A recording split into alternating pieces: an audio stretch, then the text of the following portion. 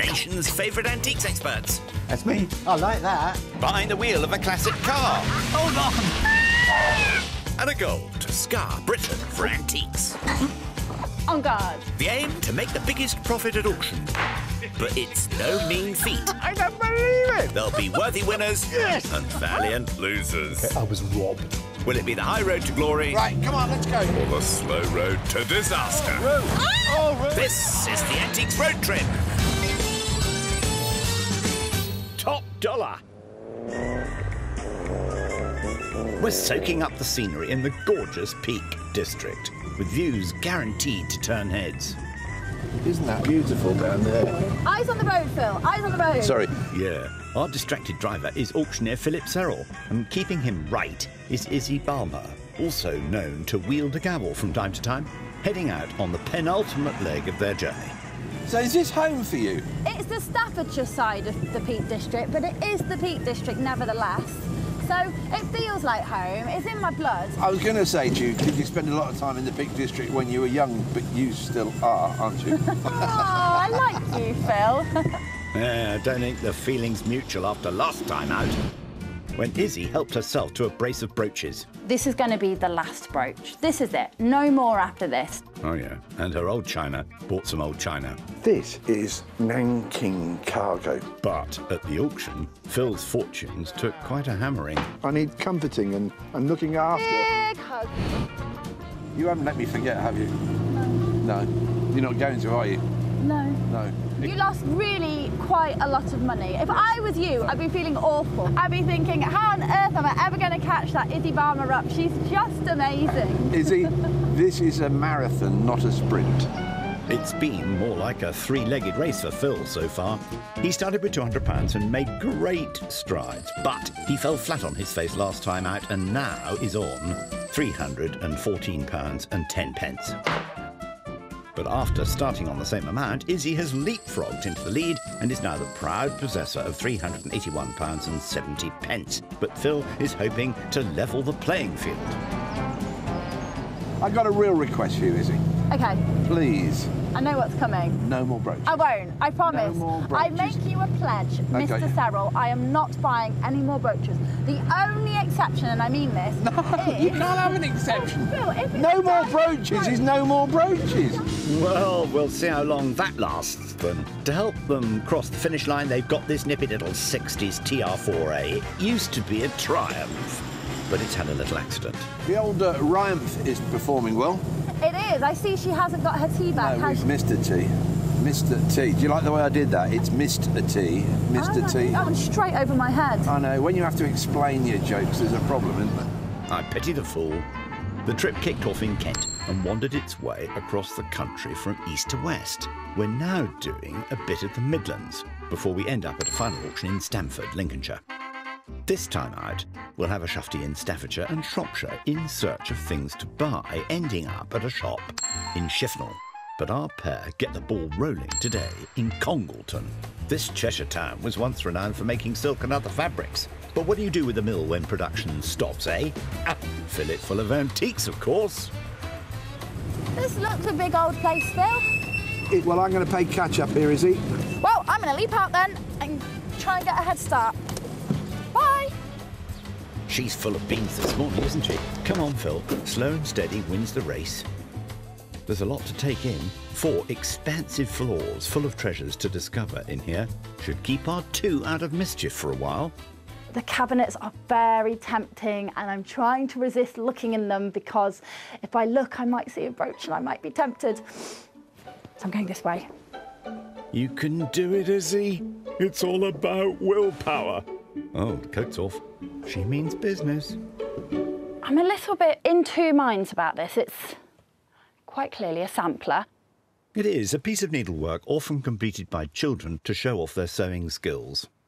Samplers can sell really well. Now, there are a couple of things to look for in a sampler.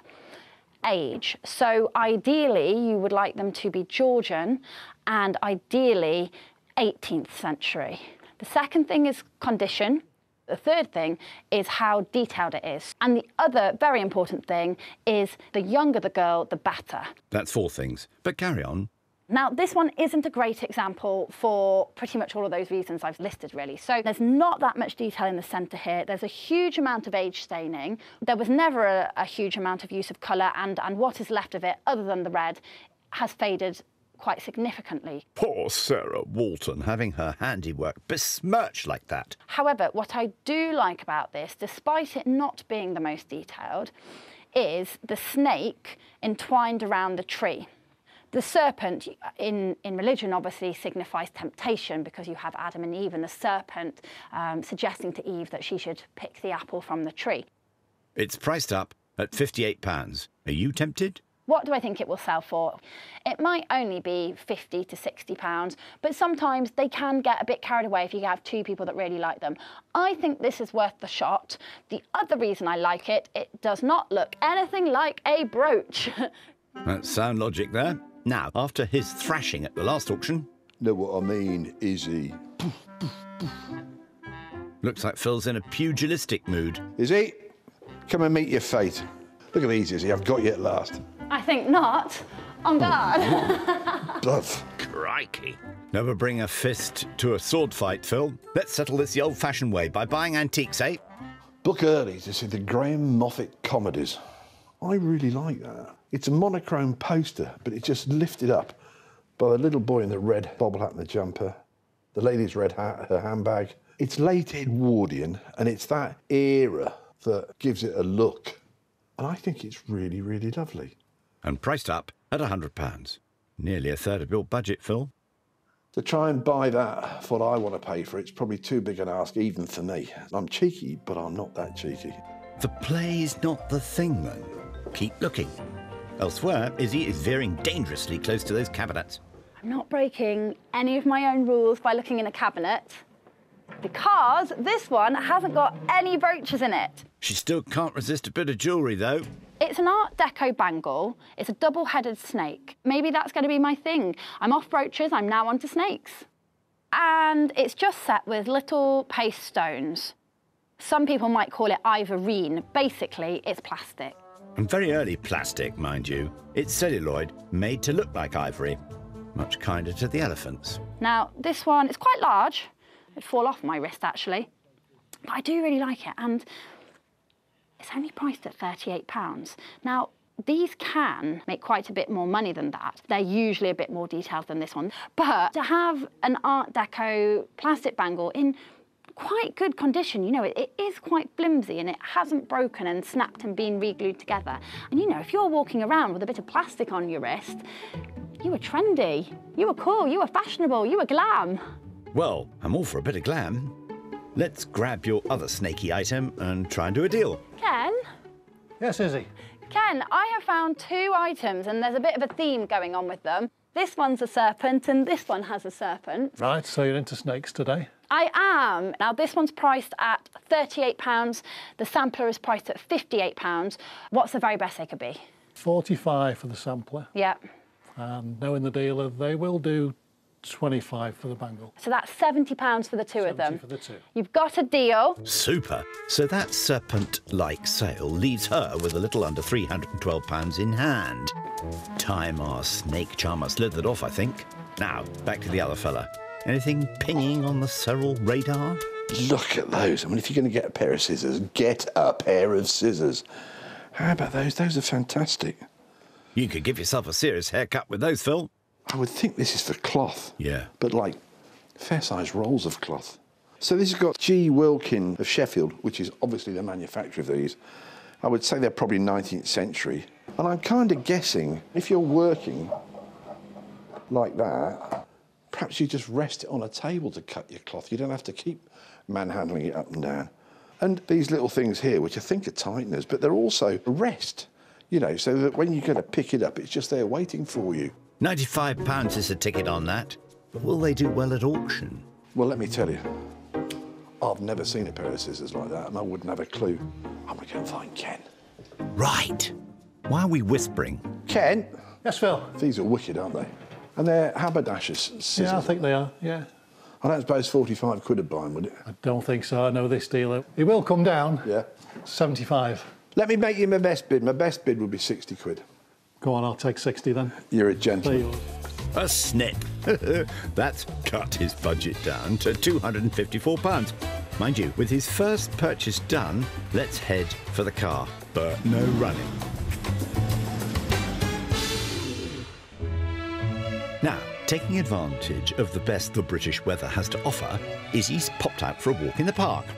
Oak Edge Park, to be precise, near Wolseley Bridge in Staffordshire. She's here to try her hand at a sport that's a test of skill, patience, and aim. But where's her instructor? Oh, just follow the sound of gunfire. Hey, Andy. How are you doing? Very well. You don't miss a shot, do you?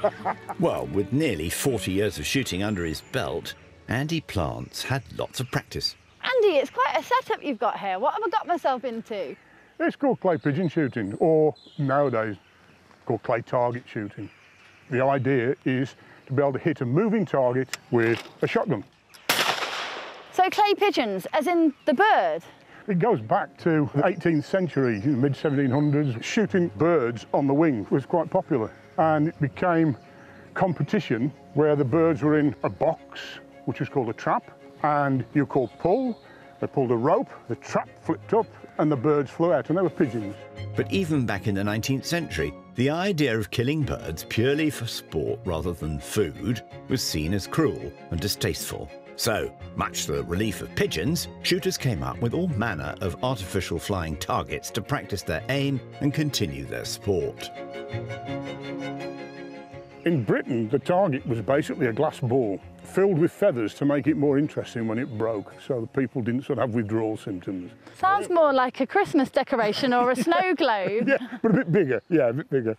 When the glass balls were sent out, it was basically just a spring arm and it threw the ball away. But the problem with the glass ball, when you're shooting out in a field that was used with livestock, there were glass shards. Oh. Into the story steps American inventor George Ligowsky.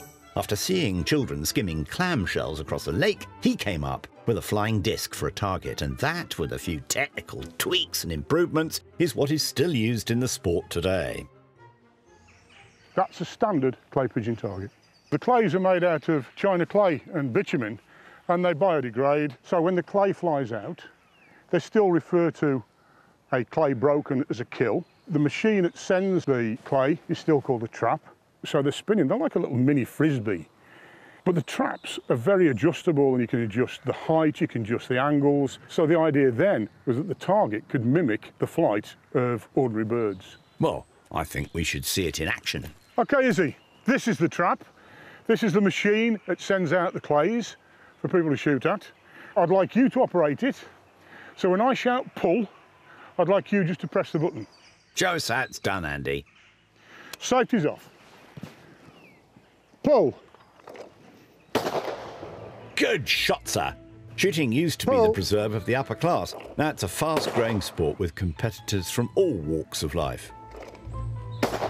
Oh, I missed one. Happens to everybody. There are clay shooting venues across the country, and the grounds here at Oak Edge even hosted the British Open Championships back in 2018. Right, that's my go. Now it's time for you to try. Now, when you're a novice like Izzy, it's vital to be trained by a qualified instructor like Andy, as safety is paramount with firearms. She's got the basics down now, so good luck, girl. So into my shoulder, Proper stance. proper stance, cheek. That's Pulled excellent. in. Okay, are you ready? She'll give it her best shot. Finger on the trigger. Mm-hmm. Target's on its way. Now, lift and shoot. That's good, you're only just over the top. Target's on its way. Now, lift, shoot. That's much better. Not quite hit anything yet, though. It goes so fast. And Yeah. I get like brain dead. I forget that I'm meant to focus on Yeah. it. Never mind. Let's try again. Now, lift. Ah! What? That was that close, you took paint off it. One more chance. Lift and shoot. Yes! She got it! Ah, yes! Okay, break the gun. You have to remember to do all the safety things before you can celebrate. Yeah. And now I can be like, yes! nice shooting, Hawkeye. Excellent. Yay! Out and about in Staffordshire, our Phil is also having to weather the weather. I'm trying to think of that musical comedian whose catchphrase was, turned out nice again. That'd be George Formby. Well, let me tell you, it has not turned out nice again. It is raining and raining hard. Whoop. The roof, or as we now call it, the sieve, isn't functioning very well. It feels just like I'm about to go into a tunnel. Oh, and lo and behold, Lord above. Dark in here, isn't it? But on the other side lies the country town of Stafford, where, a few doors down from this splendid old edifice, is Phil's next shop. What's it called? Windmill Antiques. Well, what else? This is one of those shops where I am just petrified I might knock something over. But there's such a diverse range in here. You've got enamel signs, you've got bits of furniture, china, a lot of war-related items. And it's all presided over by Ian, who never lets a bit of shop space go to waste. Now, what can our man throw his £254 at? Go, Phil. Do you know what? These are a real bygone antique. This is a Victorian walnut grandfather's chair. This would date to somewhere between 1865 and about 1880. If it didn't have these arms and just came straight down and none of this here, it would be a grandmother's chair. Quite why grandfathers need arms, I don't know, but there you go. You've got little short cabriole legs here, not unlike my own. And the whole of this show wood frame is carved here. So we've got this cresting rail up here that's carved, but just look at these scrolls here. That is just absolutely fantastic. Very fancy. No ticket on it, though. You'll have to ask. Ian, Phil, I kind of like that chair in the window. Nice 19th century chair. Well, it would have been better still 20 years ago, wouldn't it? It was like three to 500 pounds, wasn't it? Yeah, it would have been. And now you're going to struggle to get 100 quid for it, aren't you, in an auction? I am off you. Yeah. Your reputation precedes you, Mr. Serrell. What's the best you can do that for, please? You can have that for 50 quid. 50 pounds? Really? Really. This is the bit where I kind of usually bid you, but I don't feel I can do that, can Not under these circumstances. Okay, 50 pounds, I'll take the chair. Thank you. While I'm here, behind you, is that a tea canister? it is. Oh, new stuff. Those things are quite fun, aren't they? People convert them into table lamps and that type of thing. But they repro them a lot, don't they? They do. But this is a genuine one. Okay, how old is that one? This would be late 1800. They were made all over the country, but this one was made in Bristol How do you know that's made in Bristol? because it says so on the back. Well, you can't argue with that, can you? The ticket price on this is 100. 50 quid wouldn't bite, or 55? Not quite. 60 quid. And I'll have a deal with you. 60 quid, we'll call it a deal. Another super discount. Add in that chair, and his running total is £110. But he's not done yet. Oh no. Ian very kindly has let me have a little circle through his drawers. Gosh. And they've only just met. I know that he specialises in First and Second World War stuff. It would be quite nice if I could just buy a bit of military. What's in here? So this is a Second World War RAF sweetheart's brooch in the form of a propeller. And that would have been a gift to a loved one by a serving officer in the RAF. And the key thing for me with that is the B word. It's a brooch. And I know someone who's had a lot of success with brooches. If you can't beat 'em, join 'em. This is an interesting thing, look. On war service 1915. So this is a button badge or a lapel badge that you would have worn in the First World War when you weren't in uniform. I just think this is just absolutely wonderful. Look at this. There was a fund to raise money for Spitfires in the Second World War, in the Battle of Britain. And when you donated your money, you'd have collected a little Spitfire Club badge. Those three things are really, really, really quite evocative. And I think also that there's a demand for things like that in the marketplace today. Better have another chat then. Ian, Yes, Phil. these three bits here, what could you do those for, please? Well, the ticket price on those should be £50, say 30 quid. That's your best shot? I think it is, yeah. I'll have those if I may. So that's £60 for the bit of tin, Yep, £50 for the chair, that's 110 yep. And the 30 for these is 140 pounds. Is my maths right? Impeccable. Right, I think Ian wants his counter back now. So take your remaining £114 and go and pick up your compadre. Ooh, apart from a bit squeaky, how's the car, Phil? I love this car. In fact, I'm going to whisk you off into the sunset, Izzy, in my in my Triumph. I like the sound of that. Good luck finding a sunset in this weather. Nighty night. It's a very fresh Shropshire morn, and our couple of tourists are up early, taking in some of the county's attractions. Look at that. That's the Wrekin, isn't it? The Wrekin? Have you heard the expression all around the Wrekin? No. All around the Wrekin is an expression. It means you're sort of, well, you're going round and round and round that hill thing over yonder. So you're just going round and round in circles? Yeah, correct. Sounds like your average road trip then. now, how did we get on yesterday? Izzy, what did you buy? Oh, Hit me with the beans, Izzy. I can hit you with another bee. Not another brooch. It's in the glove compartment. I like that, actually. I bought it thinking it was a double-headed snake bangle, And it is, isn't it? but now I'm looking at it and thinking it doesn't look anything like a snake, and what on earth have I done? And I've just gone and spent £25 on a bangle. What's that made out of? Well, it's Art Deco, so Yeah. it's an early type of plastic, so it's probably celluloid. Isn't that what you get on your bottom? That, my darling, is cellulite. Oh, right, okay. Blimey. Our Izzy also forked out on a 19th century sampler, I think this is worth the shot. but she still has a princely £311.70 pence at her disposal.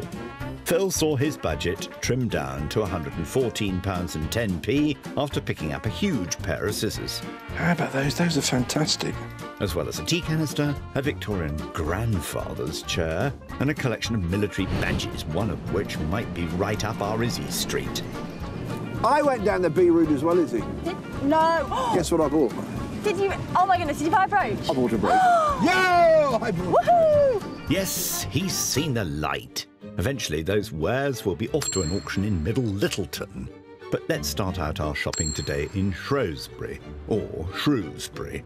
The pronunciation is hotly contested, so to avoid offending any Salopians, let's call it the county town of Shropshire. Ah, what's not up for debate is that it is the location of Izzy's next shop, Memory Lane. Let's take a walk down it, shall we? Any of these lovely things tempting you to delve deep into your pockets, Izzy? I would quite like to get something that I don't normally go for, but it's kind of like out there and out there, and I'm sort of out there rather than out there, you know. Clear as mud. Now, is that out there or just out there? It says a speculative pencil drawing, and then at the bottom, L.S. Lowry. Ah, the renowned Lancashire painter, famed for his pictures of industrial life in the early 20th century. It says it's a pencil drawing. I think it looks a bit more like ink from here, to be fair. But if it is a Lowry, it's £110, which doesn't seem that much. His originals are in museums like the Tate and places. But his prints, if they're signed prints, they can sell for a couple of thousand pounds at auction. It's dated 1951. It's obviously been folded up for a very long time because you can see the staining to the folds and the damage, like where it's starting to tear along those weakened lines. So perhaps in that sense, it only is worth £110. If it's not the real McCoy, that could be £110 down the pan. Keep looking and see if anything else catches my eye. Well, that's quite conspicuous. Let me get this out. Oh! Steady. Um, I've seen this flag, which now I've got it out doesn't actually look quite as impressive as I'd hoped because it's quite small and faded. But it's the Union flag, early 20th century. The label says it's World War One. It certainly looks the part, and it's got the age staining and then some little moth holes and holes in it, which unfortunately are all going to affect the value. But Union Jacks, British flags, military flags can do really well. Now, admittedly, you do want them a bit bigger than this one. This one is quite small. Um, but it's only priced at £25. And I could wave this as I do victory against Mr. Serrell. Pride before a fall and all that, hey? Let's run it up the flagpole and see who salutes it. Hello. Hello. You must be Holly. I am, yes, hello. Hello, I've had a good look round your beautiful shop. What I have found is this flag, which I'm hoping is going to lead me to victory. that'd be nice, hoping. wouldn't it? So it's priced at £25, and um, I'm just going to give you £25. Oh, thank you. I know, it makes a change, doesn't it? 10, 20, and 5. There we go. And onwards to victory and all that. good luck. Thank you so much. Thank you. Bye-bye. Bye. That leaves her with a little under £287 still to play with. Now, it looks as if the Queen is in residence, so it's time to head out. Philip, meanwhile, is starting his day out in the country at the Shropshire town of Much Wenlock. He's at Cuan Wildlife Rescue to come face to face with one of Britain's best loved wild mammals, and one that's sadly now being classified as vulnerable to extinction. Faye, how you doing? All right. Hi, how are you? What have you got there? Looks like a little pin cushion. Not quite, it's a hedgehog. Oh, isn't he lovely? And his handler is Faye Vass, the CEO of the British Hedgehog Preservation Society. He's a British or, or European hedgehog. Yeah. Scientific name is Erinaceus europaea. I'll settle for hedgehog, I think. Yeah, probably a good idea. They've been around for longer than you might think, about 15 million years. They were around before saber-toothed cats, woolly mammoths, that kind of thing. In Middle Ages, they were thought of as being related to witches. Really? And that they were harbingers of doom and that if you saw one, bad luck was on its way. Probably the worst thing that happened to them was Queen Elizabeth I passed a bill in 1566, which said that hedgehogs were responsible for, for crop damage on agricultural land. Um, and so she put a price on their head. If a hedgehog were killed, it was worth three pence to the person who killed it. The reputation of the humble hedgehog was restored in the Victorian era when they were sometimes kept in kitchens to keep insects under control. But in more recent times, these shy nocturnal creatures have come under threat once more. There's lots of dangers that hedgehogs face, and probably the biggest problem is loss of habitat and fragmentation of habitats. There might be pockets of land that are good for hedgehogs, but if they don't join up, it can't sustain a population. Oh, that's awful. Which is why the Preservation Society came about in 1982 to protect our spiny little friends. It was set up by Major Adrian Coles after he discovered a hedgehog that had fallen into a cattle grid. And he realised it had no means of escape and would die unless he saved it. So he got a milk pan, rescued the hedgehog, and because he was a Shropshire County Councillor at the time, he persuaded them to put ramps in all of their cattle grids so that hedgehogs could escape should they fall in. And the publicity that followed from that made him form the, the Hedgehog Society. The Society works to improve the plight of the hedgehog, encouraging people to make their gardens more hog friendly and lobbying to give the species more legal protection. They also work with rescue centres across the country where animals who are sick or injured get looked after by people like Beth Robinson. Beth, are you the chief hedgehog nurse? I am Chief Hedgehog Nurse of Cuan Wildlife. How many hedgehogs have you got in here? This year altogether we've had actually over a thousand hedgehogs in through through our doors and actually currently we have over 200 hedgehogs in our care. Main reasons that they actually come in, it's young autumn juveniles that are struggling to gain weight for hibernation. So it can take up to a couple of months sometimes to get them actually out and a good weight for, for release. And to make sure they're on the road to recovery, they need regular checkups. So here's one of our little hedgehogs Oh, that we've got. So he's a couple of months old at the moment and he's been with us since a tiny little hoglet. I'm just going to give him a little sharp injection here. What's that for then? That's actually um, a really strong wormer. Just a second and it's in. Beth, I got a favour to ask you. Yes, Can I hold one? of course you can. He's been dying to ask that. Better get gloved up then. Ow, you little rascal. They are noted for their prickles, Phil. Oh, look at you. Can he see me? He can, yeah. That's probably why he's rolled up in a little ball. Oh, look at his little face. Let's put him down. There you are, matey. So how much does he weigh? He weighs five ounces. It's an ongoing struggle to preserve these little beasties, as hog numbers have declined by 50% in the last 20 years. But hopefully, the work of these hedgehog heroes will give them a fighting chance of survival. Beth, that's been fantastic. I just one last time. You've let me pick him up. Can we call him Phil? Hey, she might be even Phyllis. From one prickly customer to a smooth operator, Izzy is on the move. I've still got loads of money left, so I would really like to spend a good chunk of that, if not all of it. I'd like to buy what I call a proper antique. Well, I'm all for that. Let's see what you can find for your remaining £286 in the Shropshire town of Shifnal. Corner Farm Antiques is your final destination, and you'll have it all to yourself until a fella called Tiggy Winkle arrives. you want proper antiques? They've got proper antiques. Some a bit too proper for you to afford, but they have more budget friendly pieces too. Look out. I have spotted something right at the back here. A brass and Ormolu thermometer. What I like about this is the bird upon the top and also the fact that it's gold because true to type, I'm going for something glitzy. I think it's 19th century. I say that hesitantly because it's in quite good condition and it's quite shiny. But if you look at the base, that just has a lot of age to it there. It's sort of all rusted. You've got that great big screw. And the fact that it's ormolu, you tend to think of it as French and French clocks, and it tends to be an 18th and 19th century type of decoration. Indeed, the word ormolu is French for ground gold, but this thing is basically gilded bronze. I just think it's pretty. It is, however, £148, and I don't think it's worth that at auction. I will park it for now and see what else I find. One more to think about then. Uh-oh, Phil's arrived. What does he think he looks like? What are you doing? You might well ask. Phil, I've got a great gag. Right, What? this is amazing. You ready? Yeah, The yoke's on you. fantastic. I do the jokes. Shall we get back to shopping then? Oh, lordy. Sideways, Phil. Well, he's got that out of his system. Let's see if he can spend some of that £114 of his. There's lots of really, really shiny, sparkly things in here that I will be right up Miss Balmer Street. But there's one thing that I really, really love. And it's not so much the object that I like, but it's who it's by. Here's a little bit of George Jensen. The renowned Danish silversmith from the early 20th century. Items produced by his company are very collectible. And it's basically a little heart-shaped locket. And you open it up and you've got a space for a photograph there. As an object, do I like it? Well, probably not that much. But it's a piece of George Jensen. And just to own one piece would be really, really special. That's got a ticket price of £58. It kind of looks like it's out of period in that it's George Jensen, but after George Jensen died.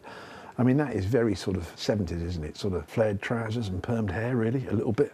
The thing about this is you're not buying a silver locket. You're buying George Jensen. At least I hope I'm buying George Jensen. Only one way to find out. Rosie, Yeah? Are you okay? yeah, this little George Jensen locket. You've got it priced at £58. I Yeah? need help, Rosie. Do you want the sub story now or later? Um, We've heard it all before. should we do it for 45? Would 40 quid buy it? Charmer. Okay, we'll do it it for all right? 40. Yeah. You're an angel. The Serrell wink works every time, and that buy leaves him with £74. Elsewhere, with that thermometer still in contention, Izzie's found something else. Are we sitting comfortably? This is a 19th century corkscrew, and in all honesty, I don't know that much about corkscrews, but sometimes the ones with the brushes can do surprisingly well. And sometimes they don't. But I just think it's a bit different and a bit novel, and it's not at all shiny, so it's not what I normally go for. It's a rather nifty rack and pinion job that gets corks out easily, priced at £118.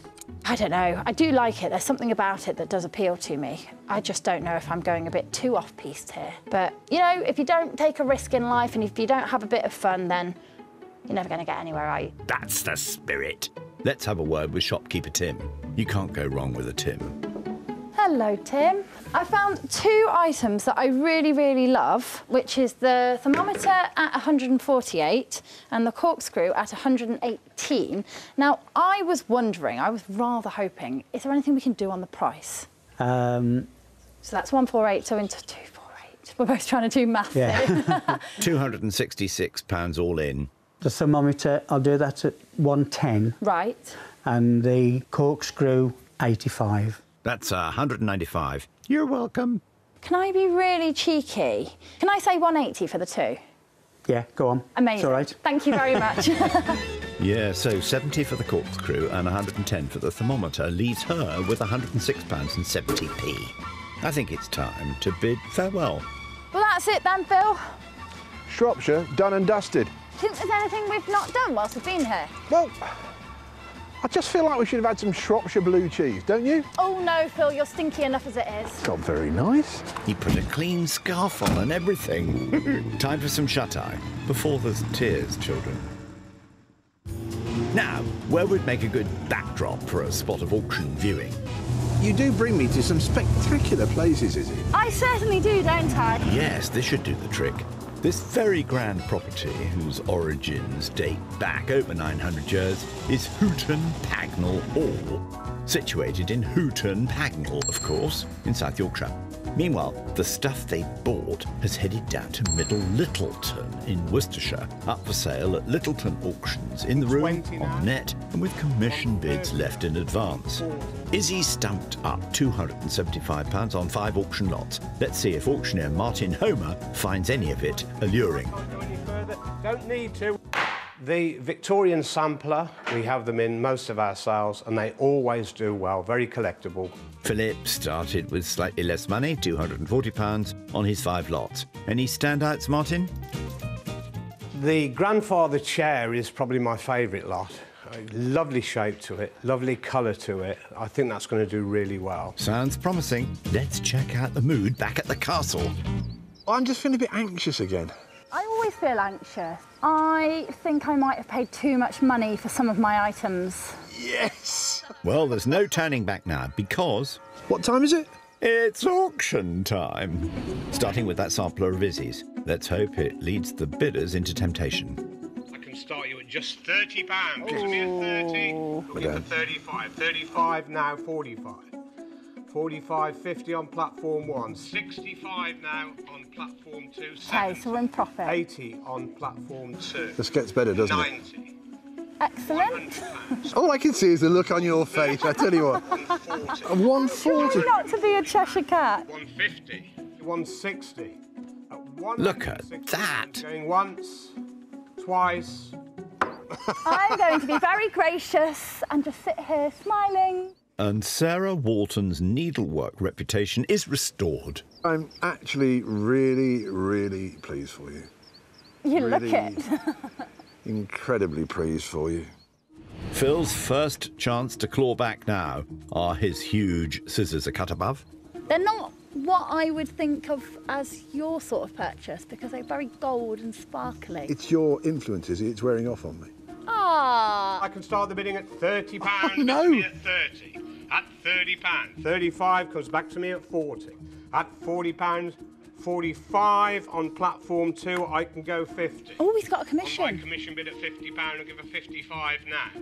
Lovely pair of scissors these at 50 Lovely Bid cheap pair of scissors. 50 pounds. All done, fair warned at 50. Will you stop smiling at me like that? Sorry, let me just rearrange I'll- my just- mouth. Come on. No haberdashers online today, obviously. It could be worse.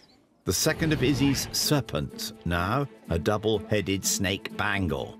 59 bid, thank you. Oh no. At 15 pounds, is it 18 anyway? It's a worm, just isn't it? 15 pounds, is it 18? And I'm selling at oh, just Oh, no. 15 pounds. We all done then 15 pounds. Do you know, I hate to gloat at someone else's misfortune, but yay! So much for plastic being glam. The tide has turned, I think. That's a result for me. Don't get too cocky, Phil. Let's see how your grandfather's chair does first. I started at just 40 pounds. Bids with me on commission at 40. 200, that's more like it. Wow. At 200 to 10 to 20. At 200 Bill Serrell. At 220 pound, ladies and gentlemen. Such a good we all done. I'm selling at 220 pounds. Well, Mr. Farrell, well done you. Hey, that's helped, hasn't it? Not off. I'd say that result puts you back in the game, mate. I am absolutely delighted. I was beginning to doubt anything I'd ever bought again, ever. One for the vexillophiles now. Izzie's First World War Union flag. 20 I've got, thank you. We're on platform one at 20. I'm at 20 pounds on platform one. Do I see 22 anywhere? Are we all done then? And I'm selling at 20 pounds. Sold at 20. I am surprised. I thought there would be a lot more interest in that. I think we'll fly it at half mast after that loss. You win some, you lose some. Phil's hoping to win some with his next lot. His tea canister, Bristol fashion. 50 pounds. To help. Good start. 50. I'm at 80. Oh. Fantastic. I can go 90 on my book. 110 I'm two, which is pleased, I'm pleased, my I'm pleased, commission. I'm I pleased. can't go any further. We're at 120 on platform one. Bill, 130. doubling your money. I think I'm, I'm all right for this to stop now. Uh, time. I've got room now at 140. I'm looking for 150 now. 150 pounds. I'm at 150 pound. Have we finished everyone? And away at 150. Well, I knew it all the time, really. Yeah. Another impressive profit for our man. That's a top result. I think that's done really, really well. It exceeded my expectations for it. I bet Izzie would like a similar outcome for her 19th century corkscrew. Can she pull it off? 30 I'm bid, thank you, on platform one. 35 I've got on platform two. I'm on 35 on Oh, Phil, I platform don't... two. Is it This has got a long anywhere? way to go. Yeah. I'm at 35 pound. Are we all done then? Fair warn. At just 35 Cheap that, Izzie. pounds. Oh, wow. I think her commanding lead might be slipping away. That was unlucky. Because Oh, those well. things can make big bucks, can't they? Took a risk, didn't work. Yeah. Phil's first ever foray into brooches now, part of his military pin collection. I will start you at 50 pounds. Bids with me on the book. That's amazing. 55 on platform two, back to me at 60. 65, I can go back in at 70. At 70 pounds. Today is your day. You're on At fire. 75 takes my commission bid out. We're at 75 on platform two. 80 we're at now. Oh. At 80 pounds. I'll give her 90. All finished at 80. 80 pounds. I'm absolutely chuffed with that. As well you should be. I think we know which way this one's going. I mean, it's been a great week, whatever, but it's suddenly just got a lot better. I'll bet. Izzie's last chance to stop the decline, hoping for a warm reception for her thermometer. 40 I'm bid, thank you. At 40 pound 50 we've gone to now. We're at 50 pounds. Interesting lot this. 55 pounds. Platform one comes in at 60 now. We're at 60 pounds. You've got a way to go yet, Izzie. 65. We're at 65 now. Platform two at 65. I feel like time's pounds. running Look at out. Time's a ticking. 70 I've got platform one. At 70 pounds all done, and I'm going to sell No. 70 pounds. I think you're really unlucky with that. Decidedly chilly, I'd say. You look wounded, hon. I am. I know what's happening today, and I don't like it. It's not much fun.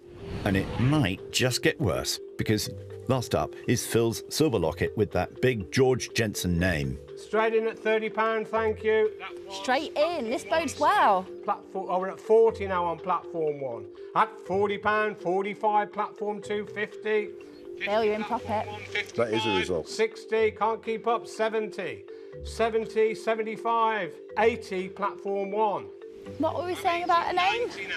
100 pounds on platform one. At 100 pound, 110 now. Was it At imported? 110 pounds. Are we all done? Fair warn then at 110 pounds. I literally can't believe that. I'm kind of flabbergasted with that. All right. I think you can start to get a bit cocky now, Phil. Do you think I've won this, Izzie? Oh, I think we need to go and work it out. I doubt there'll be any surprises, but here goes. Izzie started this leg with £381.70, pence, but after auction costs, she sees her fortune slip to £352.70. Bad luck. But Phil, who was trailing with £314.10, pence, has had, all in all, a rather good day. After sale fees, he beefs up his budget to a very impressive £574.30p, and he's well in the lead going into the last leg. You know that gloating thing that you do? How do you do that?